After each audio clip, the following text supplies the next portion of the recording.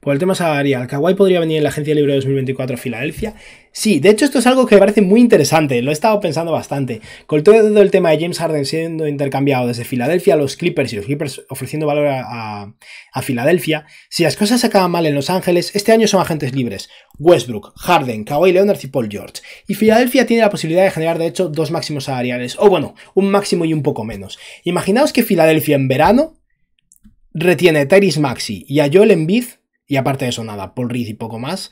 Y fichan a Kawhi Leonard e incluso a Kawhi Leonard y Paul George o algo así. Es irrealista, no va a pasar, pero sería increíble que consigan los picks de los Clippers y luego se lleguen a sus jugadores. Sería espectacular, la verdad.